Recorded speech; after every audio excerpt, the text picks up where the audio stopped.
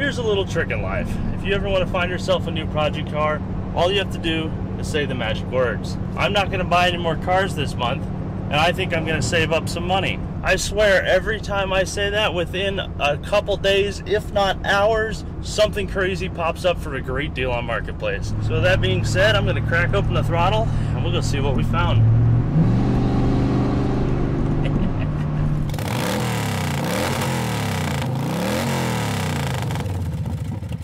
Alright, before we get into this video, let's pump the brakes and back up a little bit for context. There I was, laying in bed one morning when I woke up, instinctively rolled over and checked Facebook Marketplace, and saw this. At this point, I've only been awake for 18 seconds, but I can already tell that I'm looking at our next project, and from the looks of it, it seems to have been someone else's last project. Based off this photo alone, I knew we had one hell of a package deal on our hands. In just the parts pile, I see a supercharger, a couple carburetors, maybe a whole second interior, tons of extra parts. There's a lot here. However, it was the next couple photos that sold me. Sure, this is an old Mustang II, usually an undesirable car, but someone had already done all the hard work for me.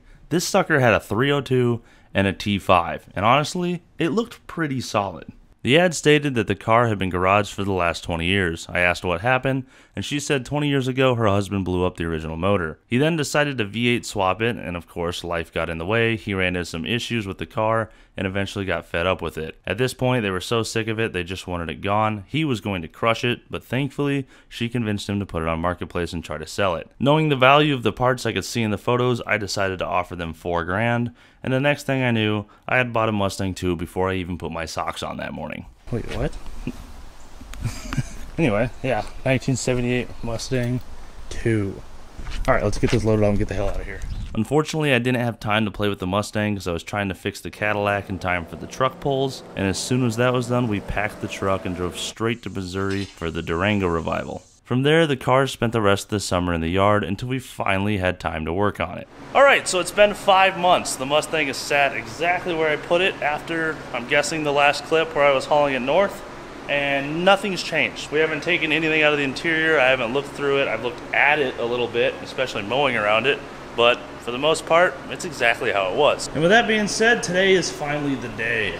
We're gonna dig into this and see what we can find out about it and if we can get her going. I have noticed that driving around this thing, there is a lot of duplicates, which is fitting since it's a Mustang 2. And in this Mustang 2, we have two wipers, two dash pads, two interiors, two sets of rear lights, uh, way too ugly of lug nuts on the wheels, and so on and so forth. So let's dig into this, see what else we find in there. All right, time for a treasure hunt.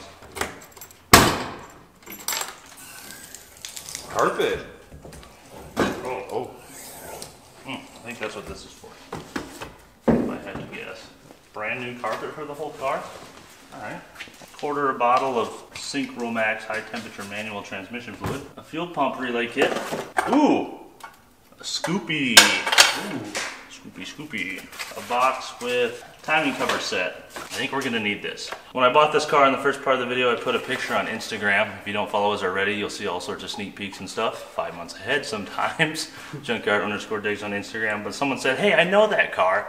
It's my buddy from work and he talks about it all the time, which was perfect because I knew nothing about it. I didn't know a thing about this car. In fact, the guy who bought it from left to not be there to see me pick it up because he was so sick of it. Talking to the guy on Instagram, uh, he said that the main problem was a bolt got stripped in the timing cover or the front of the block. So we're probably gonna have to deal with this. Whoa, hang on. Weber 40 DCOE carburetor gasket kit. This must have been for something else. Yeah, there's Weber 40 gaskets. Interesting. What kind of carbs we got? I see Holley's. Holley's galore. A Holley 9510? No. List number is 5003.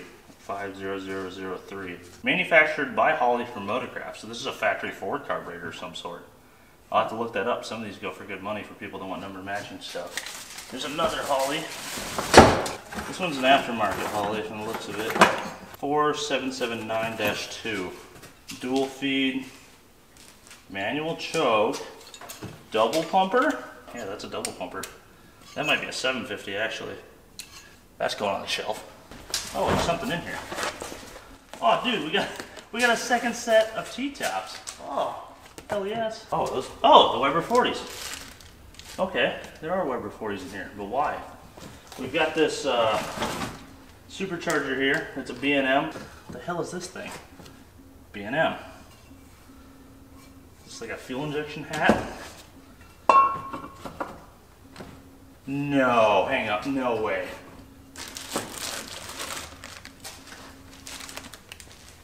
Dude, I have never even seen one of these. I didn't know this even existed. It's like, is it like a low profile thing? I don't like, know what I'm looking at. It's they're dual 40 mil Webers and an adapter hat for a supercharger to bolt to a small block Ford. Oh my god. Holy shit! I didn't even know they made this. That's probably worth same amount as the rest of the car. if not more. yeah, check this out. Dual 40 Webers. They look clean as hell. That's got to go on something awesome. Can you imagine dual 40 mil Webers on a small block Ford with a supercharger in a low clearance, low profile package? Which is definitely what that is. I would say it's for like Corvettes, but it's a Ford set. Look at that bad boy. Sounds good. This will be on something someday. That's gonna be so freaking cool. This was so worth it. Even car. Oh. oh, you died? Died. I guess it didn't want me taking this out. All right, now we're getting into the weird boxes of stuff. They have brand new seatbelts. Those look incredible. Let's see what's in this case. Oh, dude, that's a Singer box. That's like a sewing machine box. Oh hey, Little kid. a little carb spacer. What's in there? Oh, dude, eight tracks. John Denver. An eight-track player. Oh, looky there. I there. was just gonna say, too bad we don't have anything to play this in. It's a Ford. It's a Ford eight-track player. I wonder if this will fit in this car. All right, seat number one. Huh. There's a torque converter in here. A torque converter? Yeah. Oh, this one's all moldy. Oh, spilling stuff everywhere. Oh man. Oh, dude, there's an axle. Oh, there is an axle in There's an axle in the passenger seat. oh, dude, I think I just found side pipes. Oh man. Brand new side pipes. Look at that. That is awesome. Power steering pump, coils, scissor jacks, radiator hoses, starter, Ooh. exhaust flange, This another is exhaust shiny. flange. I don't know what this is. All right, let's get this cleaned out, and we'll be back to explore what all we found. Well, she's empty. A little bit of rust in the floor. Uh, it's got some, I don't know if I'd say Bondo. It looks more like plaster for a house. I don't know what that is. we just won't worry about that. Yeah. How the hell did they fit all this stuff in there? Like, there's this pile, which is, you know, a sizable pile. Up on the table too. And of course, you've got the supercharger with the dual 40s. And then you've got all of this as well. This was all in the car. Yeah, somehow it all fit in here. And you'll notice we're sitting a lot higher, but still not where I'd want it to be. Let's pop the hood and see what the hell we got going on under there. Oh Jesus. Da-da-da. Yes. He put a lot of work and money into this car. It looks like it. So I'm assuming that's like an 86, 84, 86 up, 302, probably a roller block.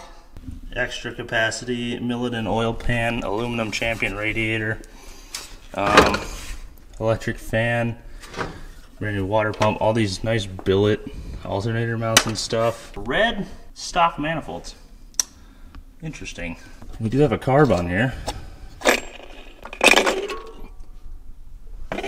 Enlist number 50265. Also a Motorcraft carburetor, so probably like a 500, 600, somewhere around there. Be about perfect for this motor. Down here, there's our oil pan again, and that looks like a new rack and pinion right there. Is that? It's a Flaming River rack and pinion. And it's new tie rods and everything all the way from the end. I think putting it on the trailer, I saw that it was a T5 and it's got new U joints and everything. So as far as like the replacing stuff needs to go, this car's essentially rebuilt. We just gotta finish it. Oh. There's something in this one. Nice. just, a, just a giant socket. what is this? That's probably for the lug nuts. oh my god, Since it they have spikes on them. It definitely is. I was literally wondering how to take those off. now I know. Yo! Oh no. yeah, no. Too big. Thank God. All right, so Isaac's been vacuuming out the car. Looks a lot better in here. Uh, in the meantime, I've been inspecting the front, trying to figure out what we're dealing with. I didn't find any threads that seem bad. Maybe this one over here's just got a bunch of rust in it, but nothing looks drilled, at least from what I can see. Everything is loose though, for both the timing cover and the water pump. So we need to take all that off and reseal it. Although I did see they they did do this part right. They put gasket sealer on both sides of the gasket, so that's awesome. But we're gonna pull it all off and reseal it anyway. And there's red RTV on that screw stuck in that hole. Next to that, we have no hose clamps on our fuel line and the world's largest fire starter, the glass filter. If you guys don't know, you should never run these. What happens is you're driving along, right? And this thing's bouncing somewhere in your engine bay and it goes, and it cracks. This one surprisingly did not crack, but those crack and then they have a high pressure fuel leak and everything burns to the ground. Also, I just noticed there's no fuel pump. This isn't plumbed to a fuel pump. It's plumbed straight, straight to the car. oh, let's cut the length. So maybe there is an electric fuel pump in that new tank. For now, Isaac's gonna work on taking our water pump off. He's got this nifty uh, drawing that came with it. The guy traced it out and put all the bolt holes in it. But if you don't want to do the cardboard method and you like something a little more universal, you guys should check out these right here. This is called the Boltster. They have multiple variants of this. This was their original design. It is a heat resistant, chemical resistant, lifetime warranty silicone mat that you can take all your hardware out of wherever you're working on and shove in here. And because of its honeycomb design, just like that, you can draw out the pattern of whatever part you're taking off and figure out where all of your bolts came from. If you guys want to check these out, along with all the other awesome products Boltster has to offer, head to boltster.com slash JYD20 for 20% off your order. That is an exclusive code that you can only find right here in Junkyard Digs. Get you 20% off these badass products. And speaking of off, looks like Isaac has removed our water pump. Oh, it's coolant oh, in it. Yay. Nice. All right, let's get that timing cover off.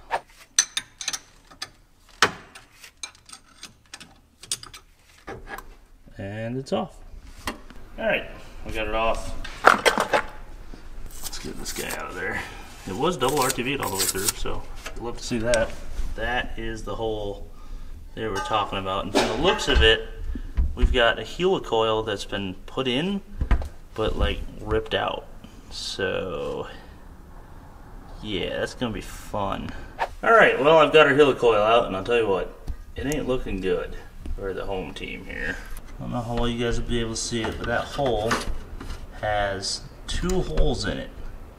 The upper one, you can see a shelf right in the center. The upper one is drilled at least, it's closer to where it's supposed to be, it's closer to center. and the oversized drill bit is incorrect and it is too low. So I'm going to get a 1764th drill bit, which is what you're supposed to use when tapping a 5 16th uh, thread, and try to drill deeper and maybe even a blind hole through. I know some people might think that's terrifying to drill a hole all the way through the engine block, but a lot of these came with holes all the way through. In fact, we always say put RTV on these bolts when you put them in so that they don't leak because a lot of engines have blind holes. So yeah, that's the plan. Drill that at the correct size, see if we can get an extra long bolt to catch hopefully some concentric threads that we can put at the very back of that hole. But we can get this to tap for 5 16 there's a lot of play in this hole and in the casting, so we'll be okay.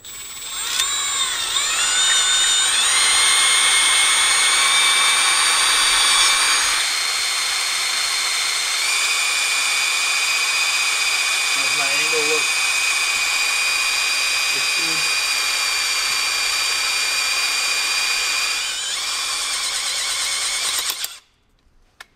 That sounded good for the bit.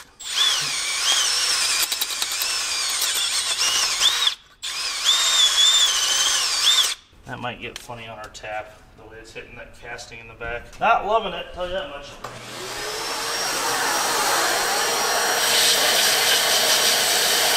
Well, it's making threads. I chose a fine thread tap. It gives us more threads per inch. It should be stronger, in theory, because we're not going to have a lot of those threads holding on to anything. This is the part where I break the tap off, and then we just throw the whole car away. it's going to be at a hell of an angle.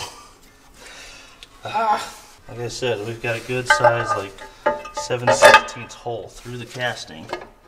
Wow, that's crooked. How did it get so bad? It was like just a little off when I started. Our angle this way isn't great anymore. Our angle this way is terrible. Let's just see what happens. I'll keep it this for a while and we'll be back. All right, update time. Just confirmed this is gonna work. I happen to get it straight enough that I can still catch these threads and still make it all the way through all of this without getting too bound up. So that's gonna work out. We're fixed. If you guys ever do have to do something like this and you don't get your angle right, kind of like I did, but it's even worse, what I was going to do was go to the store and find some 5 16-24 thread all thread and then screw it in like this, RTV it into the block, make sure it's not gonna leak. Then I was gonna smack it with a hammer and make it straight and make this a stud. But I got lucky enough that this bolt will work slash I couldn't find any fine thread all thread so I'd suggest using coarse thread but that was my plan if that ever helps anyone with this problem put your all thread in smack it straight boom now it's a stud either way without further ado it's time to get some RTV on some gaskets and put the front end of this motor back together as I mentioned earlier what we do with all of our gaskets is we double coat them in RTV we just put a light film on each side enough to cover up all the color that helps them hold in place and seal very well. I'm just going to keep this up for a while and then I will position that on the back of this. Get this timing cover centered. Make sure it's concentric around the harmonic. You want to install your harmonic onto the shaft before you bolt anything down to make sure that's centered. Throw all your bolts in and then go ahead and put the water pump on, la di da da, and just assemble the front of this engine.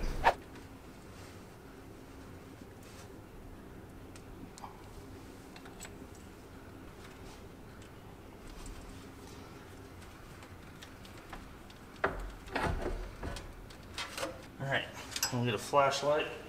Now I'm going to inspect that our harmonic balancer seal has an equal amount of tension all the way around. That would tell me which direction I need to move our uh, timing cover. And right now the answer is down.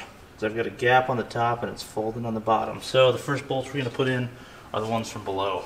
So what happens on that seal, if it's not centered, is you're going to have too much pressure on one side and you'll burn up that side of the seal.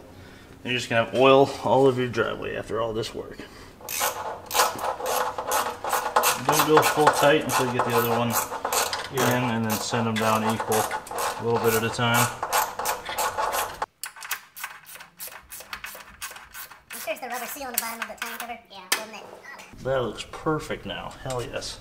And last but not least, this one. All right, we'll get these torqued down the spec. We'll be back. So as Isaac just pointed out, as after I put the RTV on the gasket, that's a new one. Uh, there's like six generations of front timing cover for a small block Ford, and I guess this one has provisions for a fuel pump, but no, uh, they didn't they didn't uh, make it go through. So we'll have to put an electric fuel pump on this car, I suppose, because I'm not taking that back off. All right, well. Put that on the shelf. Good morning, everyone. This morning, Isaac is making us some plug wires. I am sourcing an alternator because this massive behemoth of an externally regulated 1G alternator doesn't even fit under the hood. If you don't know a ton about alternators, Ford has, I believe, six generations. We only usually deal with the first three here in the channel. Uh, the first generation is one of these right here. This is a 1G. This is a 1G large case, uh, high output. It makes like 100 amps. Either way, this is a 1G or an example of one. These are externally regulated. This is a 2G. It is internally regulated. And this is a 3G and is also internally regulated. Uh, things to note are these tab positions. Some of them are offset to where this tab is over here. And a lot of them are straight, just like this. These should bolt right in place of an old 1G if you'd like to upgrade your alternator. There is a ton, and I mean a ton of information on this. Motor Trend's got a lot of good write ups about how to source them, uh, how to install them, how to different bits and pieces. There's your your 3Gs right there. The 3Gs will usually come in a serpentine belt because they started in 93, I believe, 94. Yep, 94. But they usually come with a serpentine belt. Uh, you can get brands that come with pulley that for V belts or just swap a V belt pulley on. But just know for anyone looking to upgrade your alternator, these exist. You can do the research and figure everything out for yourself. Like I said, tons of tons of write ups on 3G alternator swaps for trucks and cars. What we are going to do is ditch this giant thing in favor for a small case 1G, which came on a 19, I think I got it set to 1977 F100, which is that truck right there. The next problem we face is finding a belt drive. I, as you can tell, do not have any pulleys for this car. I would have to steal them from somewhere. Or, I think there's a box over here that we found in the car. Yes. oh, it's so ugly. That's a water pump pulley. There's a crank and there's an alternator pulley and there's the belt. It's just so bad we might have to do it. All right, the big uglies are on. Dude, this belt. Hope that switches out fast. It's been like that for 15 years. The unsupercharged supercharged engine. we've got our accessory drive on, we've got battery in, we've got everything hooked up to where it should be able to crank over right now. So let's go test that and we'll check for spark and maybe hit it with a little brake cleaner and see what happens. Are you ready? Ready? Oh! I guess it's in gear. Uh, Coil not plugged in? I hear it sparking. Sounds like we'll have spark, so that's good. I said we just go ahead and hit it with some juice right now. give it a go. Yeah. I think our timing's in the right direction. I didn't set it. I forgot to touch it until just now. So let's see what happens. Ready? Yep.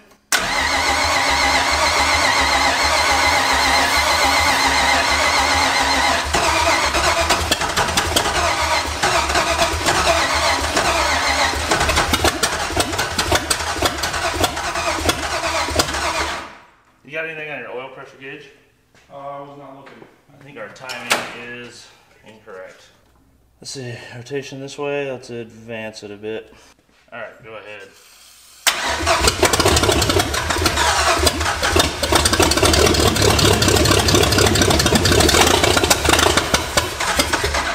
The oil light was off? Yeah, I was off. Sweet, let me give it a little more timing.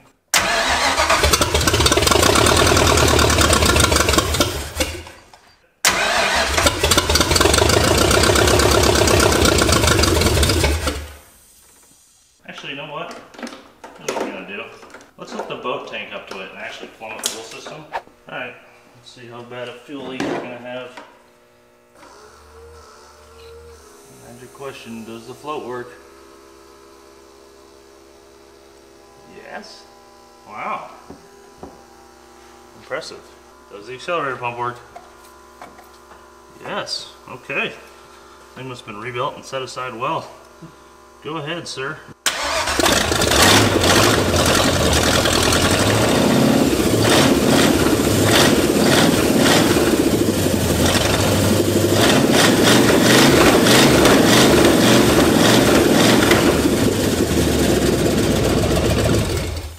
All right. She runs. She runs. The timing was just way off. I had to stop it because all the bolts were about to fall off the back of the alternator. That's fine. you don't need an alternator. They were like sitting there just like spinning out. Oh, look at them. All right, let's get that alternator wired, do a few more things under here, and set this up to where it can run a little longer. Okay, I've got our alternator wired up, I think. This will tell us. I have no idea what our transfer slots are at. Since I didn't put this carb on, I can't set it myself. Either way, I've got our timing light, so we should be able to dial that into a pretty close range, lock that down, and then do some more stuff on this motor.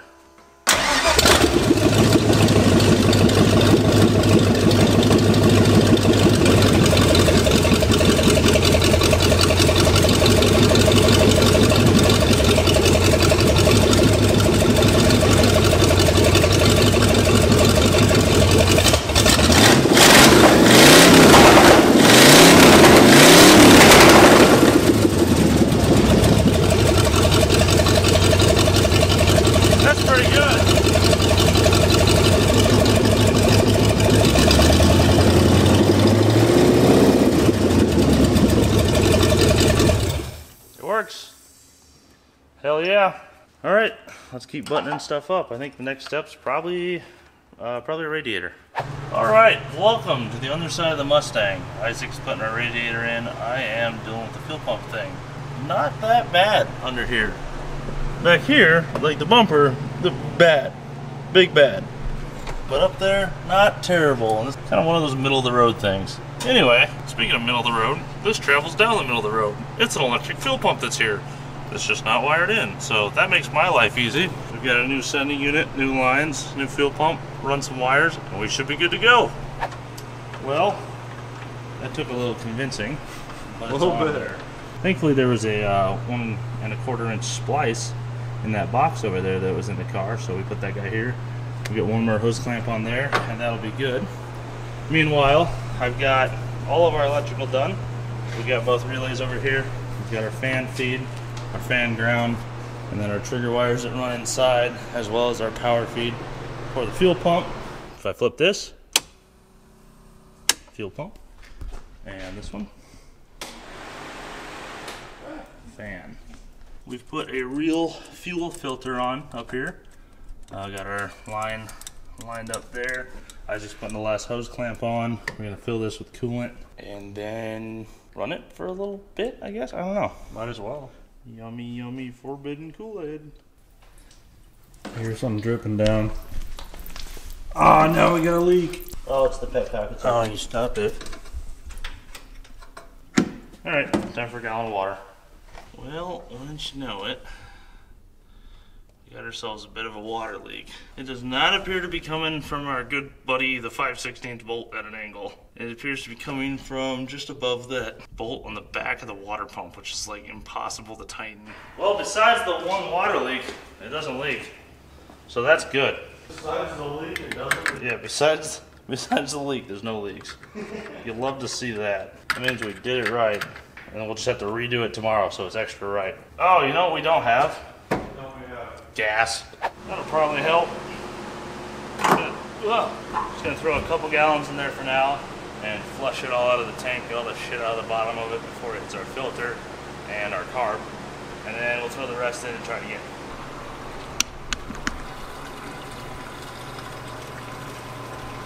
Damn, that actually looks pretty good. It might just be fine. No point in wasting gas, that's just liquid gold. Let's hook her back up. Alright, Mustang, time for you to run off your own fuel tank the first time in, I don't know, probably 17 years or something. We have no idea, really.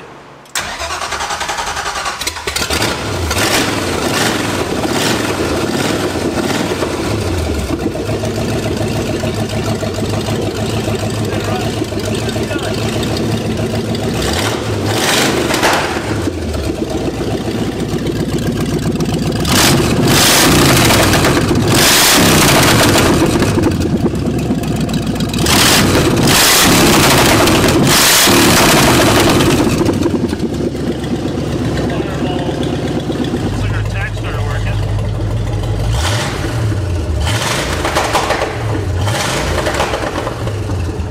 I don't know if that's quite accurate. That might not be a V8 tach. Let's see if we spin.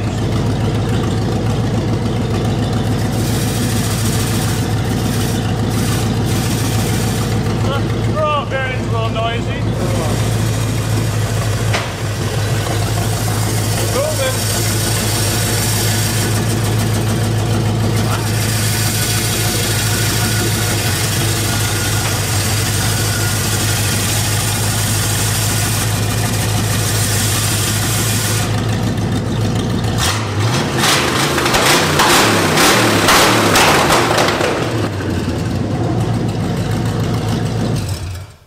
I don't think our tach is a V8 tach.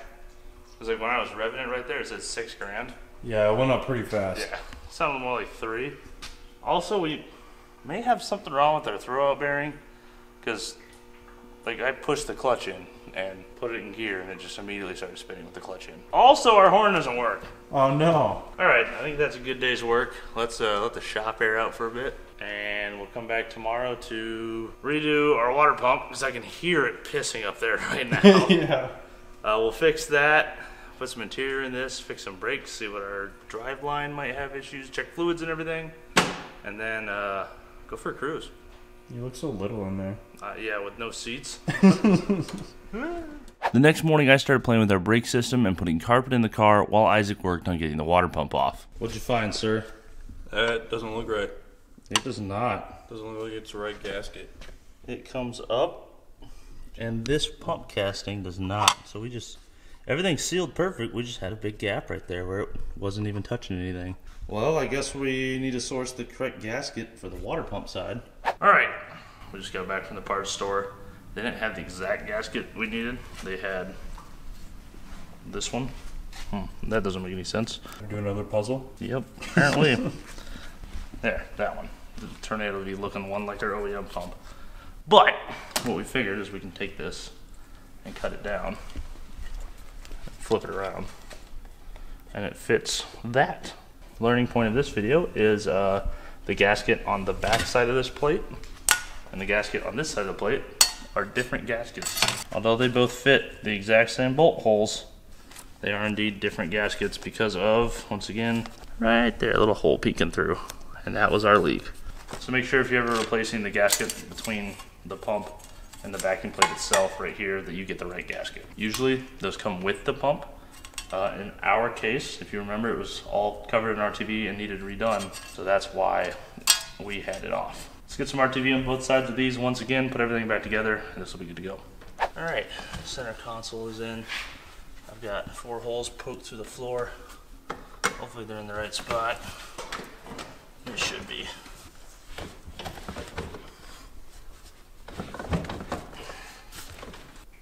It's gonna take a minute, so I'm just gonna pretend that it's in. All right, there we go. Looks beautiful. Thank you, thank you. It was a lot of work. We've got everything RTV'd. Our pump's Second time? There. Yeah, second time. Our pump is on. It's just chilling right now with a little bit of force. We're gonna let the RTV cure a little bit, and then we'll torque him down. In the meantime, I've installed our passenger seat.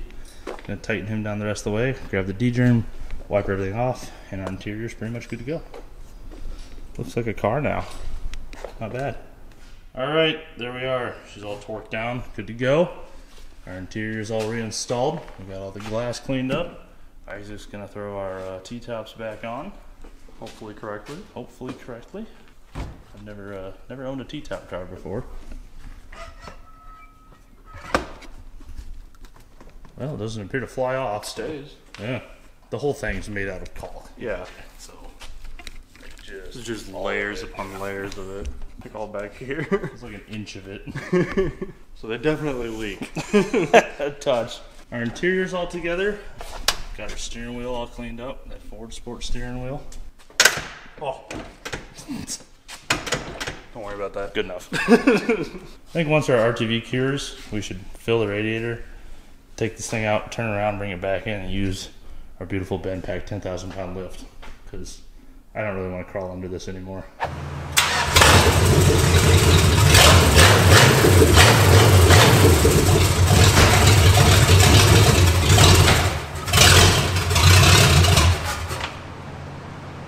The clutch doesn't work. Um, I got it on the floor. I stabbed it in gear and it just started driving away. I don't know if we need to tighten our cable or what, but this is going to get interesting. That's the clutch on the floor.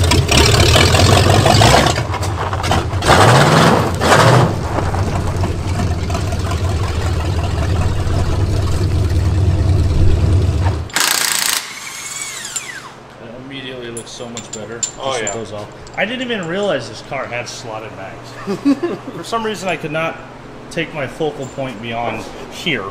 Okay, so pulling this car outside and turning it around just now, I learned a couple things. One, obviously our clutch needs a lot more adjustment put into it. Anytime it's in gear, it's driving, so that's not exactly ideal. And thing number two is the fact that we have zero brakes despite the pedal feeling like it has a little bit of resistance in the back of its stroke. There's nothing there. Early on, when I hopped in this car, I hit the pedal and it went pop and went to the floor. That was probably the piston being seized in the master cylinder, and I busted it loose. And all the seals and stuff are going to be junk because of that, so we're going to have to replace that. And we'll start digging into wheel cylinders, brake calipers. We might have to turn some rotors even. Yeah, this might turn into a full brake job. Let's find out. Well, look how cute these little guys are. Like, we got that slowing down a V8 5-speed car. I keep this around, uh, note to self, those are going to need to upgraded. More importantly, though, right now they're going to need turned because they've got some deep rust in them. Holy shit! Ooh. She definitely had a bad wheel cylinder. Yeah. See how wet that is? All the wet goopy goop. That's even though it's been in there for 20 years, it's still really dark coloration, which means that there was moisture in there, which would be brake fluid. Our pads look okay. Everything needs cleaned really bad, but Yeah. we got to take it all off anyway to do wheel cylinders. So, well, no way to get it done besides just digging into it. Do you want to do drums or discs, sir? I'm more familiar with discs. Probably have to repack wheel bearings too. Oh, great. I'm doing drums. Okay, so we've got half of our brakes done in the rear, and we broke a couple of self-adjusting cables. I just kind of looked at it and it didn't like it. Literally stared at it and it popped right Yeah. in his face. It was hilarious. After that broke, I went and got my miscellaneous used brake parts to see if I had any other used hardware that fit, and I didn't. And I went, oh, you know what we do have? I totally Another forgot. axle. Exactly, a whole nother axle. And that made me question things. like, why was there another axle in this car? This axle might be a way better ratio or a posi or something. So we started looking it over, and sure as shit, this thing is a five lug and a posi traction unit. Probably a Truetrac, if I had to guess. This is an 8 inch axle.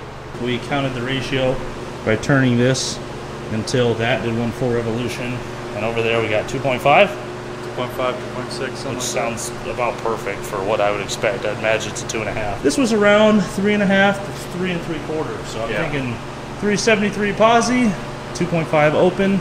I, I think I know what our next step needs to be. Yeah, it's a little extra work, but I mean, What I think we can do, I called up Quick Performance, asked them a few questions, and Ashton confirmed all 8 inch Fords are 28 spline axles. The only thing that differs is the axle length. We need to measure our axle from here to the other side to make sure they're the same length. But what I think we're going to do is take the four lug axles, put them in here so that we can keep our old rims and we don't have to source rims. side note is the brake parts in here look to be in much better condition. Yeah, they're literally all new brakes over here. So we did all that for nothing. Yeah.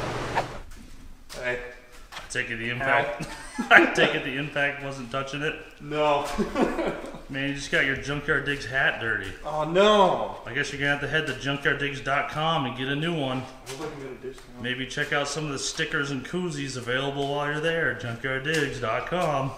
I'll be here a while. Yeah. Four more on that side and three more on this side. You're gonna be puking. I'm gonna be so dizzy. Fun fact if you have a 4 9 inch and you want to do brakes really, really fast, you can buy this right here, fully assembled from Quick Performance. All the brakes and everything on the backing plate. Take the four nuts off like I just did, pull your axle out, slap this guy on, hook your lines up, done. Brake job in like 25 minutes. Check out those and a whole bunch of other goodies on quickperformance.com. Right here in Iowa, good friends of ours and an excellent company to get your parts from. Go. Oh, shit.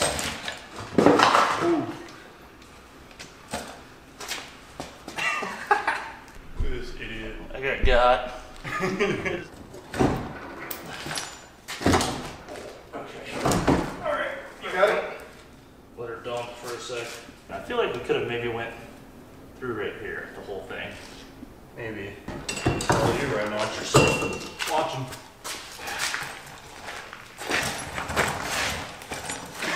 Where are you going with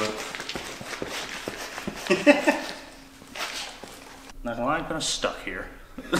All I can do is rotate.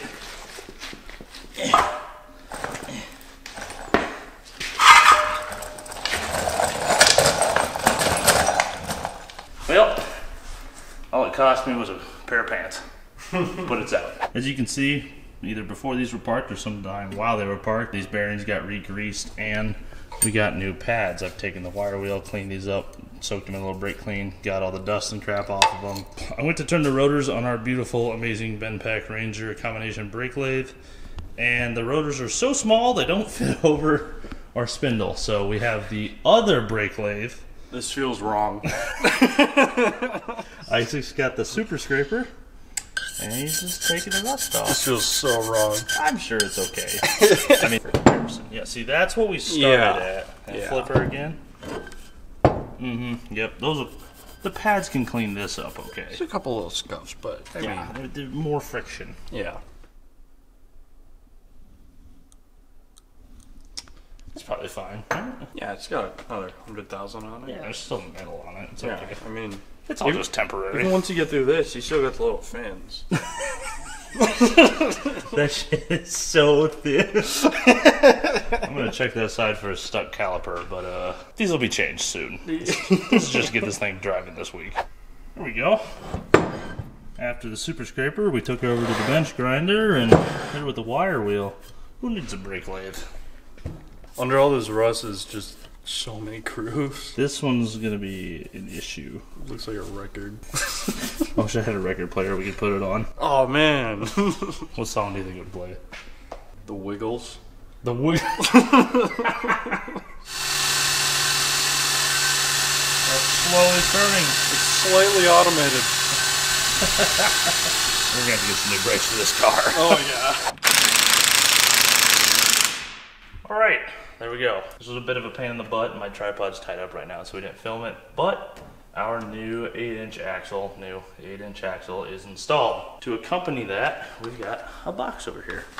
In here we have from our buddy Time Performance new four lug axles. And I know a lot of people are probably saying, why would you put a bunch of money into four lug axles? And once again, we know how many five lug rims, and this car has to be done today, so the video could be out tomorrow. Someday, I'm sure if this stays around, we'll swap it to five lugs.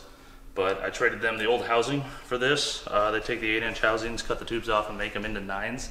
Because there's people that need those for something. I'm not sure what. It's not my place to ask. All I know is that Quick Performance hooked us up with these. So, once again, if you need axle parts, quickperformance.com or shoot them a call. They've got a great sales floor out there that'll help you with anything you need. We'll put on these new axle seals and then slide these into place.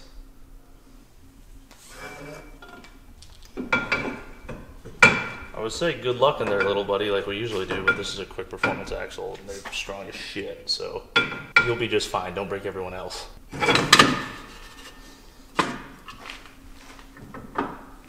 There we go. All right, there we go. Our axles are in, our retaining plates are on, everything's good to go.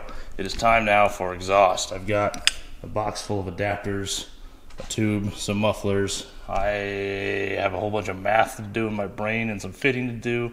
So I'm just gonna bolt all this together and I'll show you what she looks like when we're done.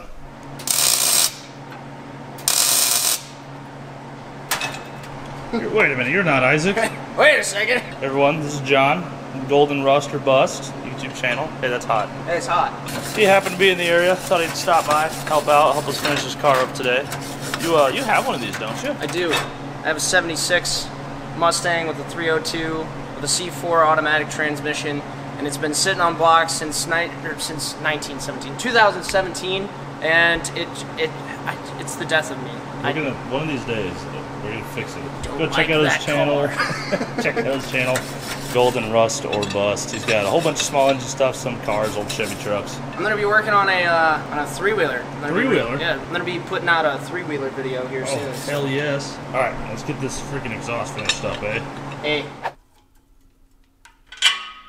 Is that it? yeah. That's it. We've got our uh, Flowmaster Delta Flows that came on another Fox body I bought once upon a time. Uh, some leftover pipe here. Some stuff we're gonna ignore up there. All that matters is what happens when I turn this key. Let's see how she sounds.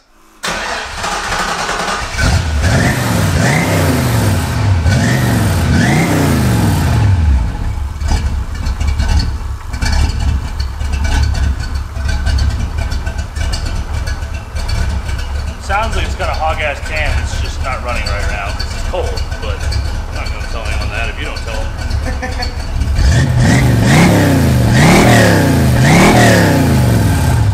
Well, I say that sounds pretty dang good. That sounds damn good. It's not as hollow chamber sounding as the normal Flowmaster 40s or the 44s.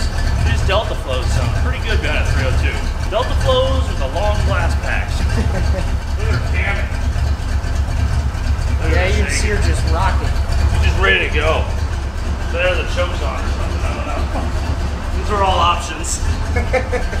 so all we got left at this point is three things. One, bleed the brakes. Two, adjust the clutch. Three, figure out what that weird noise was up front that I can now hear because it's not open headers. I don't know if you heard it, but it was like. And was. I'm sure that'll be fine. It's probably the clutch. One more for the ladies. One more for the ladies. I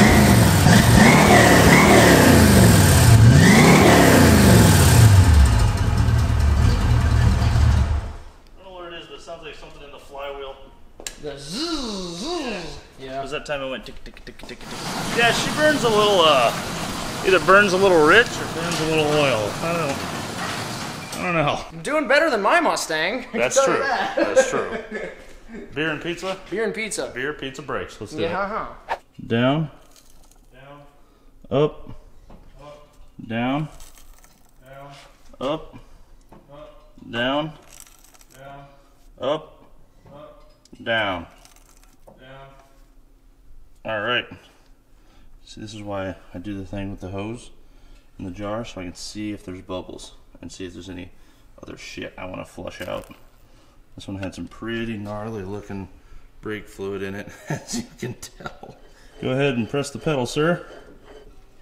Oh, yeah, we got brakes. All right, brakes are done. Let's hook up the last couple hoses and stuff and take this thing for a rip. Tires are on. Got our vacuum lines and everything finished up up here. The last step is this clutch. What's happening is the pedal is hitting the carpet before it's able to fully disengage the clutch. So. Alright, it's been a few hours. John's back. I've been on the phone with SST, late model restoration, all my friends with Fox bodies all over the internet. No one had a good answer for me. What I was able to do was take a pry bar and put it right here. Doing so was able to move this fork far enough forward to disengage the clutch perfectly. So I knew it wasn't a uh, pivot stud length issue or a fork geometry or a clutch depth issue in here. It was not any issues within our bell housing. That is all correct. The problem is this cable right here just it just doesn't pull two and a half inches like the Fox bodies do because they have a quadrant on top of the pedal. And by quadrant, what I mean is this guy right here. That is a piece of geometry that's used to roll over and take more cable up than what would be in a linear situation where the pedal's just pulling backwards. This is what's going on inside the Mustang 2.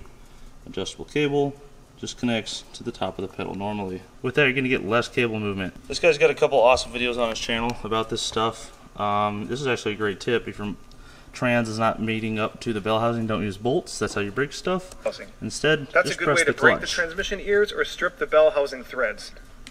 Here's an easy trick. Hook up the clutch linkage and have an assistant press the clutch pedal, which allows the clutch disc to float just enough to get the transmission fully seated.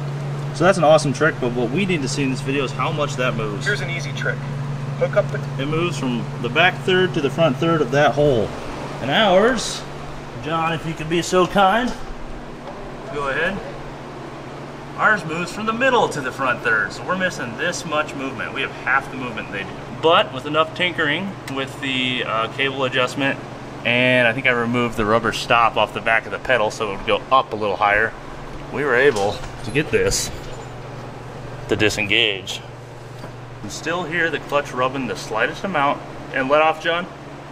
And there's still a bit of preload on the thrust bearing, but talking to Silver Sport, they said that's actually what you want in a Fox body, and this should be just fine. So I can't speak for long-term sake, see how long this is going to last, but it would appear you can put a T5 in a Mustang 2 and use the stock Mustang 2 cable for a four-cylinder or V8. With that being said, this some bitch is done. Let's get it down on the ground and go for a ride. All right. She runs rough, but she runs enough for us to take it around the block. We're gonna do another video on this car. I'm gonna put an AFR gauge in it and a vacuum gauge and show you guys how to tune an unknown to you carburetor with an AFR gauge and vacuum gauge and what to look for. Keep an eye out for that video. It'll be separate. I don't have time for it today, and this is a great candidate to do it on. For now, let's go for a ride. Oh, the clutch pedal's so high now. I gotta like. Those noises will go away in time. self clearance, right? Oh yeah. We got brakes. Still can't fit my my foot between the carpet and the pedals.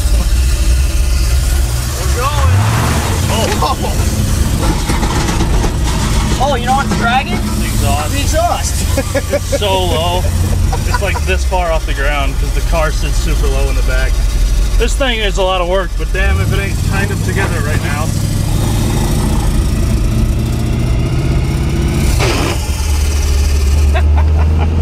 oh, it's quiet in second. That's good.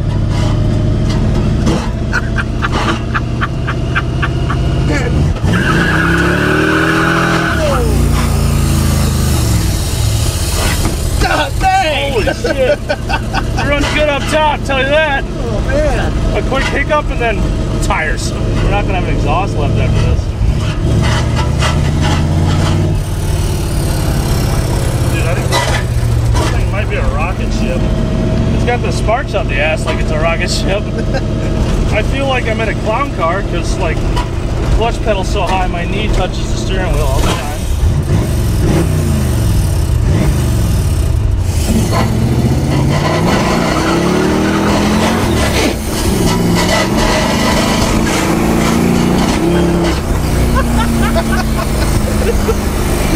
Oh, smoke. the whole time it was accelerating, it was just exhaust. scrape, scrape.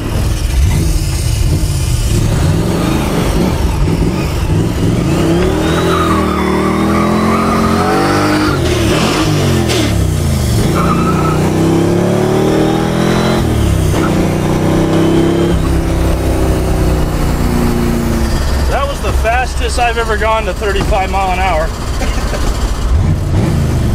This thing, it needs work yet. We need to undo all the things that were thrown together, like those, by both us and anyone prior, but this could be a hell of a car.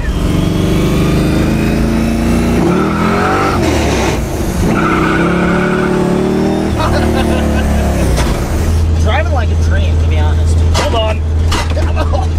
You had to say it. Not only that, when you hit those bumps, I hit my head on the roof, like over here. Dude, it doesn't even try to grip, it just blows the tires off. You can't speed if you can't go safety.